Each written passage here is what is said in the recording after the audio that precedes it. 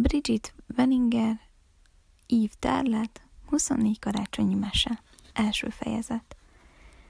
A megérkezés. Manu Mózes apu éppen akkor lépett ki a barlangjából egy kosár tűzifával a kezében, amikor az égen megjelent a hold.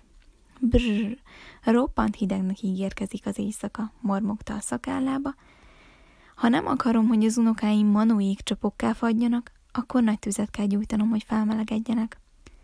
Mózes apu ügyesen kis mágiát rakott kedvenc tölgyfája a menedékében. Szikrát pattintott, és hamarosan vígan ropogott a tűz. Egy bográcsban levest akasztott a lángok fölé, aztán visszasietett a barlangba, mert még sok dolga akadt odabent. A tölgyfa tetején két bagoly ült, felborzolt tollaikkal úgy festettek, mint két puha gombóc. Hú-hú, húhogott fel az örökké éhes fióka. Te is láttad, mama? A kisbagoly éles szemével észrevette, hogy lent megmoccannak a fűszálak, de egy állatot sem látott. Ó, azok csak a pici emberek, olyanok, mint Mózes apu, magyarázta bagoly mama. Épp csak rajtuk van a láthatatlanná tévő köpönyegük. Hú-hú, értem. És mond, mama, vajon a manók finomak? Hú, eszedbe ne jusson, szörnyette a bagoly mama. Senki nem eszik pici embereket, ők a barátaink. Sokszor segítenek nekünk állatoknak. Na és hol élnek? érdeklődött tovább a fióka. Hát, bagoly mama elgondolkozott. Mindenhol, az egész világon élnek pici emberek. Vannak, akik még a nagy emberek házaiba is beköltöznek, de mivel kicsik, és ráadásul még gyakran láthatatlanok is, kevesen veszik őket észre. És most miért jöttek ide? Ezer tekergő kukac, csattan fel bagoly mama. Honnan tudnám? Hallgass, figyelj, és megtudod. Nagyapó, nagyapó, megjöttünk! kiáltott pár vékonyka hang odalentről, és egyszerre mindegyik manócska levetette a láthatatlanná tévő köpenyét. Két manó gyerek jelent meg, Vilma és Vili. Teóval az apjukkal érkeztek, aki nehéz hátizsákot cipált. Manó szokás szerint köszöntötték a nagyapjukat, összedörzsölték az orrukat, és azt mondták közben, nim nem nomi. De jó, hogy ilyen korán érkeztetek, mondta ragyogó szemmel Mózes apó.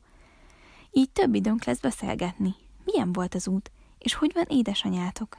Mindannyian a lobogó tűz köré telepettek, majd Mózes apó jól bebugyolálta őket a puha szarvas bőrtakarókba. Ó, egész gyorsan ideértünk, mosolygott Vili. Képzeld, láttunk egy rókát. Vilma úgy megijedt, hogy majdnem bepisilt. Szerencsére a róka barátságos volt, mert emlékezett rá, hogy apa egyszer régen kihúzott a talpából egy tüskét. Cserébe megengedte, hogy felmásszunk a hátára, és egészen idáig elhozott. Fantasztikusan jó volt. Egyáltalán nem pisiltem be, csattalt fel ikertestvére Vilma. Igaz, kicsit tényleg megijedtem, de a róka nagyon kedves volt. Mama viszont nagyon fáradt, és olyan kerek, hogy szinte kigurul az ágyból. Biztos jobban lesz, ha a babák végre megszületnek. Vilma az aprára nézett, aki bólintott, és azt mondta, igen, Monának sok pihenésre van szüksége. Ágyban kell maradnia, ha csak lehetséges. De ez nem könnyű, ha két örök mozgókölyök rohangál a házban. Köszönöm, nagyapó, hogy megengedted, hogy nálad maradjanak egy ideig. Eljövök értük, amint a babák megérkeznek. Semmi baj, nevetett Mózes apó. Nagyon örülök, hogy itt vagytok. Biztos remekül muratunk majd mi hárman. Kezdjük azzal, hogy mindannyian együnk egy tányér finom forró levest, aztán megmutatom, hol fogtok aludni. Boldogan elfogadom a levest, mondta Teo, de azután rőt róka hazavisz, nem akarom sokáig egyedül hagyni a feleségemet.